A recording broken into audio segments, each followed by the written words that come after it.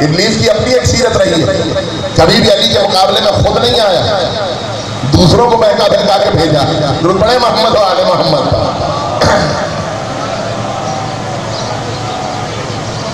بلدان مطلب کا مادہ محفورہ ہمارے اردو زندگی میں ایک مجبوری ہے۔ سارا اسلام ہے عربی۔ اور عربی ایک بہت بڑی زبان ہے۔ ہمارے اردو زندگی میں اس کا ترجمہ کرنے کے لیے الفاظ پورے نہیں ہوتے۔ دو لفظ ہیں، ایک ہے مغفرت اور ایک ہے شفاعت ہمارے اردو زندگی میں ان کے معنی کو آپس میں ملا دیا جاتا ہے۔ مغفرت کے معنی بھی بخشنے بخش دینا اور شفاعت کے معنی بھی بخش دینا، ایسا نہیں۔ مغفرت کے معنی ہے بخشنا۔ شفاعت کے معنی ہے سفارش کرنا۔ دونوں کے معنوں میں فرق۔ مغفرت کے معنی معاف کر دینا، شفاعت کے معنی سفارش کرنا۔ اسی لیے چودھا کو جو ہم کہتے ہیں، وہ شفیع المذنبین کہتے ہیں، خدا کو غفور الرحیم کہتے ہیں۔ ہم نے کبھی چودھا کو غفور نہیں کہا، خدا کو شفیع نہیں کہا۔ پڑھیے محمد و آل محمد۔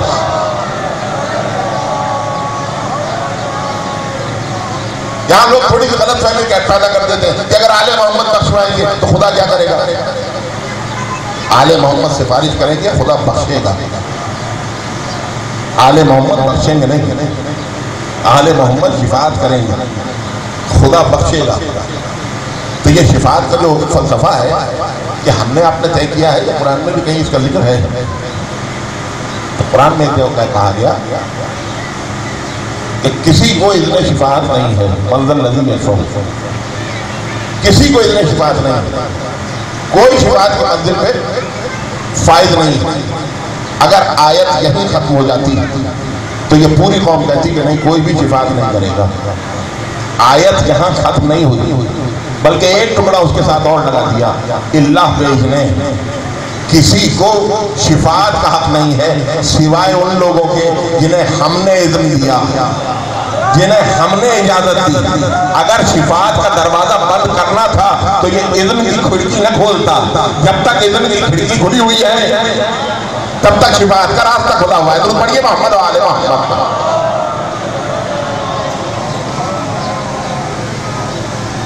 اللہ مکرم لوگ کہتے نہیں، اس کے علاوہ بھی آئے تھے بالکل آئے تھے رسول ہی سے کہا گیا کہ رسول اگر آپ اس کے بعد اس کے لیے ستر مرتبہ بھی استغفار کریں تو ہم نہیں بخشیں جیسے ہم نے ابراہیم کی استغفار آدر کے بارے میں قبول بالکل یہ آیت قرآن میں اور ہمیں یقین ہے شاید فرق کو سمجھیے۔ ابھی ابن سلول کے لیے کہا کہ رسول اگر آپ ستر مرتبہ بھی اس کے لیے استغفار کریں تو ہم قبول نہیں کریں۔ گے جیسے ہم نے ابراہیم کے لیے آدم کی شفاعت قبول نہیں کی۔ یہ جملہ کہہ کر بتایا کہ ابھی نے سلول کا قصور کیا۔ آذر اعمال کا مجرم نہیں ہے۔ بت بناتا ہے، بت بیچتا ہے، بت پرست عقیدے کا مجرم ہے۔ ابھی ابن سلول بھی عقیدے کا مجرم ہے۔ خدا واضح بتا رہا ہے کہ جو عقیدے کا مجرم ہے، ہم رسول کی استغفار بھی قبول نہیں کریں گے۔ جو اعمال کے مجرم ہیں، جو پڑھیے محمد و آل محمد۔ دیکھیے، دو چیزیں ہیں، ایک عقیدہ، ایک عمل۔ عقیدہ کیا ہے؟ توحید۔ عدل، نبوت، امامت، قیامت۔ یہ عقیدہ ہے۔ اور اعمال کیا ہے نماز، روزہ، حج، زکات خمس جہاد، امر بالمعروف، نہی عن المنکر تولا تبرع درود پڑھیے محمد و آل محمد۔ کا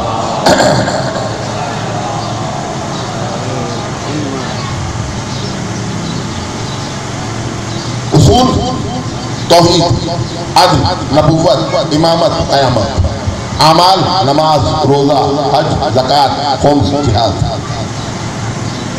بڑی آسان سی مثال دے دوں، عقیدے اور عمل کے لیے۔ ہر وہ چیز کہ جو وہاں سے آئے، ہمیں قبول کرنی ہو، وہ عقیدہ۔ اور ہر وہ چیز جو یہاں سے جائے، اسے قبول کرنی ہو، وہ عمل ہے۔ جو وہاں سے آئے ہمیں قبول کرنی ہو، وہ عقیدہ۔ جو یہاں سے جائے، اسے قبول کرنی ہو۔ وہ فرو اعمال۔ بڑی توجہ رکھیے گا۔ اللہ کو ہم نے شورا بٹھال کے ایک نہیں مانا۔ وہاں سے حکم آیا کہ وعدہ اللہ شریف۔ ہے عادل ہم نے نہیں مانا۔ وہاں سے حکم آیا کہ عادل۔ ہے نبی کو نبی برحق ہم نے نہیں مانا۔ اس نے کہا کہ یہ خاتم النبی ہے۔ امام کو امام ہم نے نہیں مانا۔ اس نے قرآن میں حکم دیا کہ یہ امام ہے۔ قیامت کو ہم نے نہیں مانا۔ مشورہ نے نہیں مانا۔ بلکہ اس نے کہا، نماز وہاں سے نہیں آئی۔ ہم پڑھتے ہیں، وہاں جاتی ہے۔ روزہ ہم رکھتے ہیں، وہاں جاتا ہے۔ حج ہم کرتے ہیں، وہاں جاتا ہے۔ جو ہمیں قبول کرنا ہے، وہ عقیدہ، جو اسے قبول کرنا ہے، وہ عمال تو پڑے محمد والے محمد۔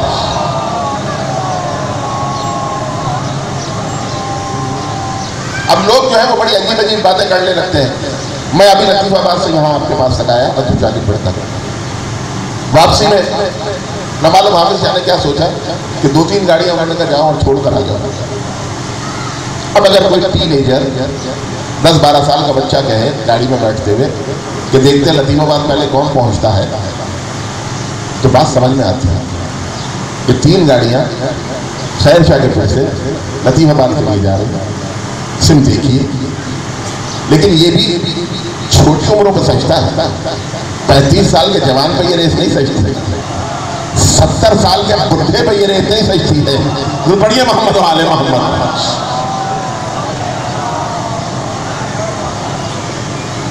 بچپنے کی ادا ہے، بچے پہ سجتی ہے لیکن آج کل موبائل کا دور ہے، ایک گاڑی یہاں سے جا رہی ہے اور ایک لطیف آباد سے مجھے لینے آ رہی ہے۔ اور کوئی بچہ کہہ کے دیکھیں، پہلے کون جیتتا؟ سمتیں ہی مختلف ہے ایک یہاں سے لطیف آباد جا رہی ہے، ایک لطیف آباد سے یہاں آ رہی ہے۔ ان میں مقابلے کی فضا بنتی ہی نہیں ہے۔ ان میں مقابلے کا انداز بنتا ہی نہیں ہے۔ دونوں کی سمتیں الگ ہیں۔ پتہ نہیں کیا ہو گیا ہمارے بزرگوں کو۔ عجیب مقابلہ کرتے ہیں کہ نماز افضل ہے یا ماتم۔ دونوں کی سمتیں ہی الگ ہیں۔ پہلے یہ بتائیے، محبت اہل بیت عمل ہے یا عقیدہ؟ یہ بڑا عجیب سوال کر رہا ہوں ابھی میں نے آپ کو تعریف بتائی یہ بتائیے محبت اہل بیت کیا ہے عمل ہے یا عقیدہ ہے اگر ہم اداداروں نے بیٹھ کے یہ طے کیا ہو کہ ہم آل محمد سے محبت دیں گے عدل کریں گے تو اس کا مطلب عمل ہے یہاں سے وہاں جائے گا اور اگر اس نے قرآن میں حکم دیا ہو کہ ہم تم سے اجر رسالت کچھ بھی نہیں چاہتے تو اس کا مطلب ہے عقیدہ۔ ماتم ہے عقیدہ۔ نماز ہے عمل۔ عقیدہ وہاں سے یہاں آتا ہے۔ نماز یہاں سے وہاں جاتی ہے۔ اس میں کوئی مقابلہ ہی نہیں ہے۔ جو پڑھیے محمد و آل محمد۔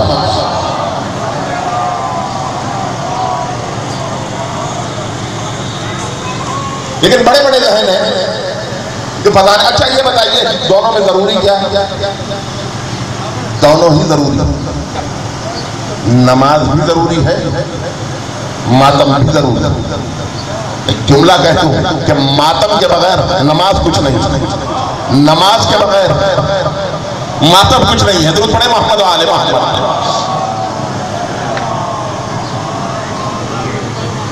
عزیزان محترم، اس جنت کے فلسفے کو سمجھ آپ لوگوں کی بات نہیں کر رہا، آپ لوگوں کی امان بہت اچھی میں تو اپنی بات کرتا ہوں ممبر پہ بیٹھ ہم نے سنا سنا سنا سارے بزرگوں نے بھی سنا ہوگا اور بزرگوں سے ہی ہم نے سنا۔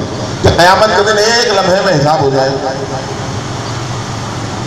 ایک لمحے میں۔ تریپن سال کا تو میں ہو گیا۔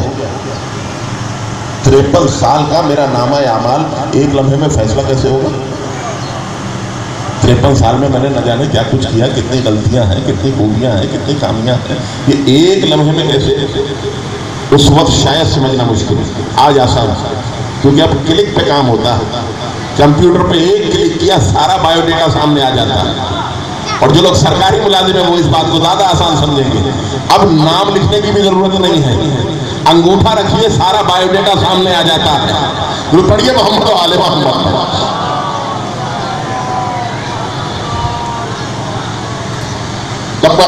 جب خدا کا میدان لگا ہوگا، ہم جا کے کھڑے ہوں گے، ہمارا بایو ڈیٹا سامنے آ جائے۔ گا دو طریقے کے کارڈ آئیں گے۔ جو سیدھے ہاتھ پہ کارڈ ہوگا اس میں تین کالم بنے ہوں مشرق، کافر، منافق۔ اور جو دوسری طرف کارڈ ہوگا اس میں لکھا ہوگا مومن، معصوم، مومن نیکوکار، مومن گنہگار۔ جب ہمارا کارڈ نکلے گا نبی عباس کا، تو مشرق کراس لگا ہوگا۔ کہ یہ مشرق نہیں ہے۔ کیوں نہیں ہے؟ کہ ساری زندگی لا الہ الا اللہ کہتے رہے۔ اس لیے مشرق نہیں۔ کافر پہ بھی کراس لگا ہوگا۔ یہ کافر بھی نہیں۔ کیوں نہیں ہے؟ کہ ہم نے دسیوں دفعہ مجلس میں سنا، محمد رسول اللہ۔ منافق پہ بھی کراس لگا ہوگا۔ یہ منافق بھی نہیں ہے۔ کیوں نہیں ہے؟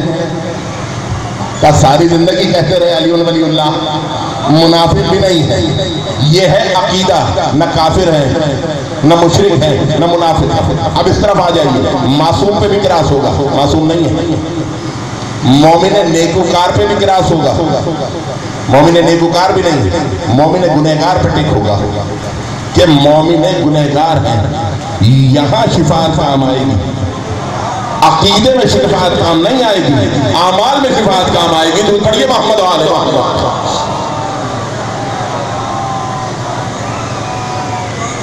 علی مطلب لوگ اس بات کو سمجھ نہیں پاتے۔ عقیدے اور عمل میں فرق فرق فرق فرق لوگ کہتے ہیں دونوں میں ضروری کیا ہے؟ مجھے یہ بتائیے، زندہ رہنے کے لیے کیا ضروری ہے؟ دولت یا صحت؟ آپ کہیں گے دونوں ضروری ہے اگر صحت ہے اور دولت نہیں ہے تو بھوکے مر جائیں۔ اور اگر دولت ہے اور صحت نہیں ہے تو کھا نہیں پائیں گے، مر جائیں۔ دونوں ہی ضرور ہے صحت بھی ہو اور دولت بھی۔ ہو کھانے کے لیے پیسہ بھی ہو اور کھانے کے لیے صحت بھی ہو۔ تب زندگی بہت اچھی گزری۔ اب اس میں بڑا ایک عجیب مسئلہ ہے۔ صحت ٹرانسفریبل نہیں ہے۔ دولت ٹرانسفریبل ہے۔ دیکھیں میں کچھ عرض کر۔ صحت ٹرانسفریبل نہیں ہے۔ دولت ٹرانسفریبل ہے۔ آفس سے ہمارے گھر آئے، ہمارے بھائی کو دیکھا، بڑے دبڑے پتلے سے۔ کہ لگے صحیح آپ ماشاءاللہ سے ایسے۔ اگر تھوڑی سی صحت اسے دے دیں تو یہ بھی بہت اچھا ہو جائے گا۔ ممکن ہے صحت دینا۔ نہیں دے سکتے۔ لیکن یہ آئے اور ہمارا بھائی کھانے کو بھی نہیں تھا۔ کہ لگے صحیح ماشاء اللہ سے آپ گورنمنٹ بنا دیں۔ تھوڑا سا پیسہ اسے بھی دے دیا کریں۔ اور ہم لفافے میں رکھ کے دیا ہے۔ ممکن ہے یا نہیں؟ ہے دولت ٹرانسفر کرنا ممکن ہے۔ صحت ٹرانسفر کرنا ممکن نہیں ہے۔ یہی مسئلہ ہے۔ کہ عقیدہ ہے صحت، اعمال ہے دولت۔ عقیدہ کسی کو ٹرانسفر نہیں ہو سکتا ہے۔ اعمال ٹرانسفر ہو سکتے ہیں۔ کہ آپ نے مجلس کرا دی، اعمال لتوچھا کو پہنچ گئے۔ بیٹے نے نماز پڑھ لی، اعمال لتوچھا کو پہنچ گئے۔ ایک عمل صالح کر دیا، اعمال اس تک پہنچ گئے۔ لیکن جیسا عقیدہ لے کر گیا ہے، اس میں تبدیلی ممکن نہیں ہے۔ درود پڑھے محمد و آل محمد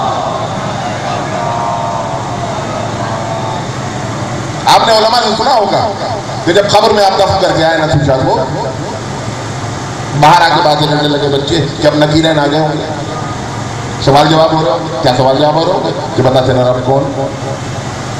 بتا تیرا رسول کون؟ بتا تیرا تیری کتاب کیا؟ بتا تیرا امام کیا؟ بتا تیرا قبلہ کیا؟ ہم نے کہا کچھ صاحب، بس یہی پوچھیں کہ کہاں؟ ہم نے کہا، ساری زندگی ہم نے کہا کہ نماز کے بارے میں سب سے پہلے پوچھیں۔ گے نماز کا تو پوچھا ہی روزے کے بارے میں تو پوچھا ہی تو علماء نے کہا، وہ قبر میں نہیں پوچھیں وہ حشر میں پوچھیں وہ قبر میں نہیں پوچھیں وہ حشر میں پوچھیں تو ہم نے کہا، یہ بھی حشر میں پوچھ رہے تھے یہ پوچھنا ضروری عقیدہ دیکھ کے جاتے ہیں کہ نماز پوچھنے کے قابل ہے یا نہیں ہے۔ روزہ پوچھنے کے قابل ہے یا نہیں ہے؟ لگات پوچھنے کے قابل ہے یا نہیں ہے؟ اگر عقیدہ صحیح ہے تو نماز پوچھیں گے، روزہ پوچھیں گے، ورنہ قبر سے اٹھائیں گے، جہنم میں ڈال دیں گے۔ تو بڑے محمد و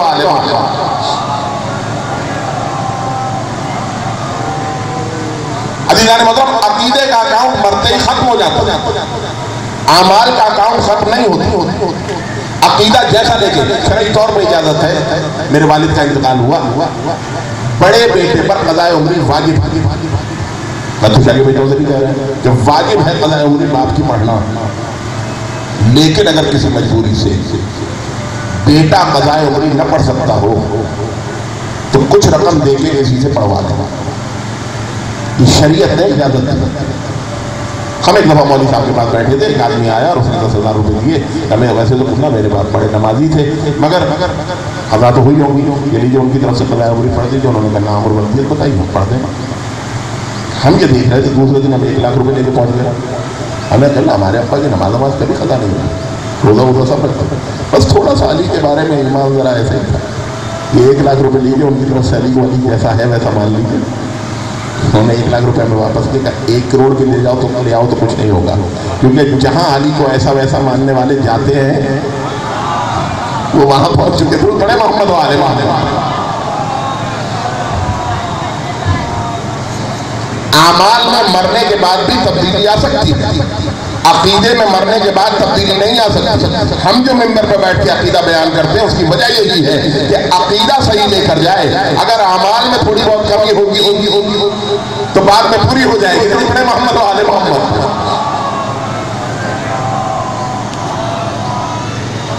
ادارہ مطلب میرا خیال ادانے ہو گیا اپنی گفتگو سمیٹ رہا ہوں جب میرا نام آیا مال نکلا، تو مومن گنہ گا نیچے کنگلیت تھا۔ پینتیس ہزار نیکیاں، پچاس ہزار برائیاں۔ اور آگے لکھا ہوا تھا، پینتیس ہزار، پچاس ہزار میں چلی گئی، پھر بھی پندرہ ہزار برائیاں رہ گئی۔ خدا کہے گا، جہنم میں ڈال دو ایسے میں ایک آواز آئی، ٹھہرو۔ ہماری نیکیوں میں پندرہ ہزار نیکیاں ان کے کھاتے میں ڈال دو۔ یقین مانیے پوری ذمہ داری سے کہہ رہا ہوں، فرشتے پوچھیں گے بھی نہیں کہ کون سی نیکیوں میں سے۔ کیونکہ علی کی نیکیوں کے اکاؤنٹ اتنے ہیں کہ چاہے شب ہجرت سے ڈال دیں چاہے عہد کی ضرب سے ڈال دیں تو بڑے محمد والے والے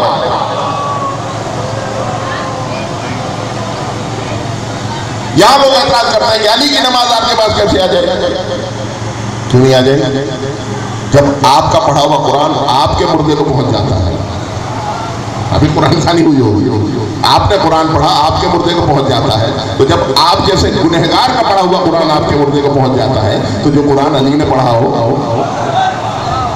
پڑھیے محمد عالم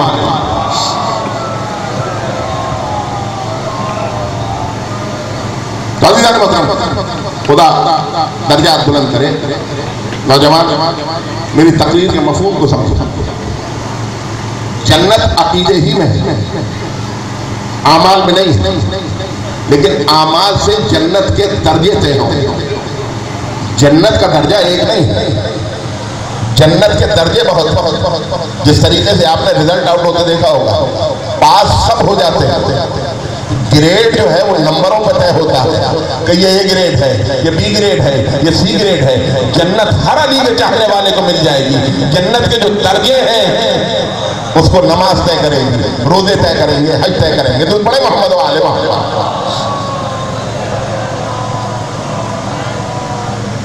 لیکن جنت عقیدے میں ہے۔ میں ایک دلیل سن لیجیے قرآن سے، آپ سے اجازت چاہتا ہوں۔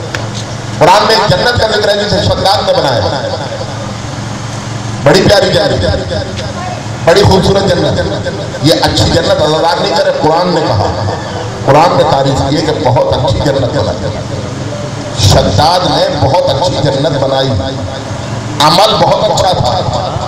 لیکن جب اپنی بنائی ہوئی جنت میں جانے کے لیے خود نکلا، تو ایک پیر جنت کے اندر تھا، ایک پیر جنت کے باہر تھا۔ کہ ملک الموت، جاؤ، جا کے روح قرض کر میں نے کہا، پالنے والے، اس کی اپنی بنائی ہوئی جنت۔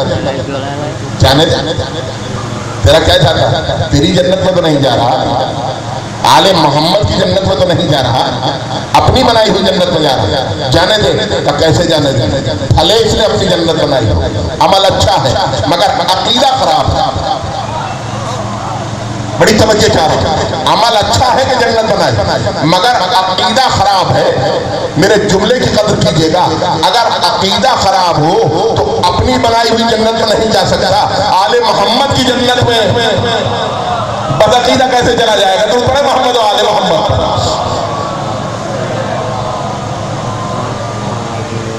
ہم نے کہا پالنے والے، عقیدہ کیا خراب نئے ماحول میں مجلس پڑھنا۔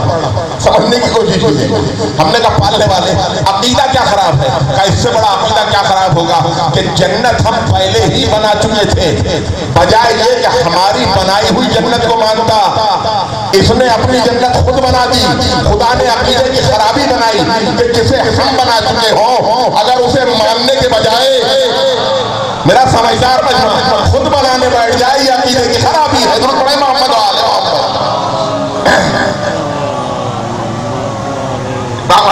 نماز پڑھیے محمد تو آل محمد جنت ایک تو رسول نے کہا کہ ماتا مغفورہ مغفور۔ مولا علی نے بھی بات اور ایک بات جس کے آج کل ایام چلا کہ اس وقت تک جنت ہی میں نہیں جاؤں۔ جب تک حسین کے ایک ایک رونے والے کو جنت کا لگا رونے والوں بے شک ہم ممبر پر بیٹھنے والے اگر تمہاری قیمت بہت بہت یقین مانو سیدہ کی نظر میں جتنے تم محترم ہو شاید ہی اتنا کوئی ہو جس کے دروازے پر رسول سلامی دے کر اندر جاتا تھا وہ آپ کے درمیان آ کے بیٹھ جاتی اور جب آپ روتے ہو تو آپ کے آنسوؤں کو اپنے رومال میں جگہ دیتے بتائیے اس سے بڑی خوش قسمتی کیا ہوگا تین شابان چھوٹے شہزادے کی ولادت رسول گھر آئے، بیوی کو مبارکباد دی۔ بچے کو گود میں لیا، گردن کو چوما ماتھے کو چوما، حضور نے رونا شروع کر دیا۔ فاطمہ نے کہا، بابا، ہمارے یہاں بیٹا پیدا ہوا؟ یہ آپ کے رونے کا کیا سبب ہے؟ تو فاطمہ، تم نہیں سن پاؤ۔ کیا بابا، ہم نے فاطمہ کی قسم بتا کیوں روئی کیا فاطمہ، یہ وہ بچہ ہے کہ ابھی ابھی جبرائیل امین آئے تھے۔ اور وہ کہہ رہے تھے یہ بچہ تین دن کا بھوکا پیاسا کربلا کے میدان میں ذبح ہوتا سننا دادارو اپنی قیمت نہ تجھے مرحوم کی قیمت سننا کیا ہے؟ جیسے رسول نے کہا یہ تین دن کا بھوکا پیاسا؟ عقل کر دیا جائے گا۔ بیوی نے کہا، بابا، جب میرا حسین قتل کیا جائے گا، اس وقت آپ ہوں گے۔ کہ نہیں فاطمہ ہم نہیں ہوں گے۔ کہ بابا، علی مرتضیٰ ہوں گے۔ کہ نہیں فاطمہ علی مرتضیٰ بھی کہ بابا، حسن مجتبہ ہوں گے۔ کہ نہیں حسن مجتبہ بھی نہیں حسرت سے میں نے عجیب جملہ کہا اور کچھ کر دی کہ بابا جب میرا حسین اتنی غربت میں مارا جائے گا کہ کوئی اس کو رونے والا بھی نہیں ہوگا۔ رسول نے سیدہ کو کش سے چوکایا کہ نہیں فاطمہ، خدا نے ایک وعدہ کیا ہے کہ قیامت تک جس کے جوان تیرے جوانوں کا ماتم کریں گے، جس کے بوڑھے تیرے بوڑھوں کا غم منائیں گے، جس کے بچے تیرے بچوں کا غم منائیں گے۔ اتنا سننا تھا کہ بیوی نے کہا بابا، پھر میرا بھی ایک وعدہ ہے کہ قیامت کے دن اس وقت تک جنت میں کیوں جب تک حسین کے ایک رونے والے کو جنت میں نہ بھیج دو اور رونے والوں صاحب خانہ کے رضا کہتے ہیں، رسول نے تکرار کی۔ کنے سیدہ ایسا نہ کرو قیامت کے دن میدان لگے گا۔ آمال دھونے جائیں ہو سکتا ہے کسی حسین کے رونے والے کا آمال برائیوں کا پلہ جھکا ہوا ہو، ثوابوں کا پلہ اٹھا ہوا ہو۔ بی بی پھر کیا کرو گی؟ کہ بابا، اگر کسی حسین کے رونے والے کے گناہوں کا پلہ جھکا ہو، ثوابوں کا پلہ اٹھا ہوا ہو، میں عباس کے کٹے ہوئے بازو لے جاؤں گی۔ اور آپ کو سلامت سماؤں والے پردے پر رکھ دوں۔ کیا سید اگر گناہ اس سے بھی زیادہ۔ ہوتا کہ بابا علی اکبر کا چھتا ہوا جگہ لے کر لے جا کر سوابوں والے پلے میں رکھ دوں لیکن تکرار بہت بڑی۔ رسول نے کہا بلی گناہ اس سے بھی زیادہ ہو۔ کہ بابا، اگر گناہ اس سے بھی زیادہ ہوں گے، تو چھ مہینے کے علی اصغر کا خون بنا کرتا لے جاؤں گی۔ اس سے زیادہ تو کسی کے گناہ نہ ہوں گے۔ میں آپ کی محبتوں کو قربان یہ پہلی روایت۔ دیکھا خطیب بیٹھے ہیں۔ یہ روایت بار بار کئی جگہ پر آئی جس دن عید کے کپڑے آئے، جنت سے۔ اور شہزادے نماز پڑھانے کے بعد گھر آئے۔ اور جیسے آپ خاندان بیٹھتے ہیں خاندان بیٹھا ہوا تھا۔ کہ رسول کی آنکھوں میں پھر آنسو بیٹی نے پوچھا، بابا، کیا بات تو جبرائیل آئے تھے اور بتا رہے تھے، رسول، بہت خوش ہو کہ شہزادے کے لیے جنت سے کپڑے آئے، مگر یہ کربلا کے میدان میں تین دن کا پھوکا پیدا مارا یہ عید کے دن حسین کے گھر میں حسین کی مجلس۔ بی بی نے پھر اپنا وعدہ دہرایا کہ ہاں بابا، میرا بھی وعدہ۔ ایک ایک رونے والے کو جنت میں بھیجوں گی۔ سننا میرے نوجوان، جیسے ہی کہا کہ ایک ایک رونے والے کو جنت میں بھیجوں گی، حسین کھڑے ہوئے۔ ہاتھوں کو جوڑ کے رسول کے سامنے آئے۔ اور آنے کے بعد کہا، بابا، نانا، جو مجھ پہ روئے گا، اس کو آپ کیا دیں گے؟ ایک مسئلہ کبھی جب لگا کہ حسین میں شفیع المذنبین ہوں قیامت کے دن تیرے ایک ایک رونے والے سفارش کروں گا پھر ہاتھوں کو جوڑ کے بابا کے پاس آیا کہ بابا نانا تو میرے رونے والوں کی سفارش کریں گے آپ ہمارے رونے والوں کو کیا دیں گے یا ایک مرتبہ علی نے کلے جیسے لگایا کہ بیٹا ہم پورے ساتھ کھڑے ہوں گے تیرے ایک ایک رونے والے کو اپنے ہاتھوں سے لکھ کے قبال ہے جنت دیں گے پھر ہاتھوں کو جوڑ کے حسن کے سامنے آئے کہ بھیا نانا شفاعت کریں گے بابا قبالہ لکھ کے دیں گے آپ ہمارے رونے والوں کو کیا دیں گے ایک مرتبہ حسن نے کہا کہ حسین، میں بھی تیرے ساتھ جنت کا سردار ہوں۔ تم سے وعدہ کرتا ہوں کہ میں اپنے حصے کی بھی جنت تیرے چاہنے والوں کو دے دوں گا۔ اور ہونے والوں کو تم تمام کر رہا ہوں۔ آخری جملہ توجہ سے سنیے گا۔ صاحب بنا کے ملازہ کہتے ہیں کہ اب تک حسین تینوں شخصیتوں کے پاس پیروں سے چلتے میں تھے۔ لیکن اب دونوں حضرت پیروں سے چلتے ہوئے۔ جب بچہ اچھا چلتا ہے۔ ماں کے سامنے آئے۔ ماں نانا کی بات کریں گے، بابا لکھ کے دیں گے۔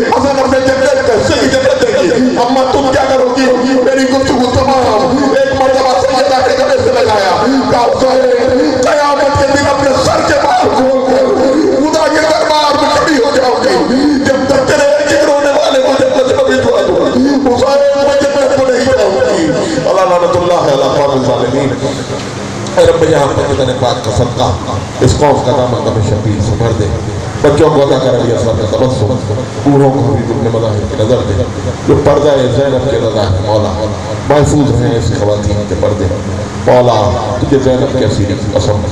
بے جرم اسیروں کو رہائی کی خبر دے۔ جو دین کے کام آئے، وہ اولاد عطا کر۔ جو مجلس شفیع کی خاطر وہ کر دے۔ خداوند عالم حاضرین مجلس رنائی بھی مجلس کے حوائی شریعہ کو پورا فرما۔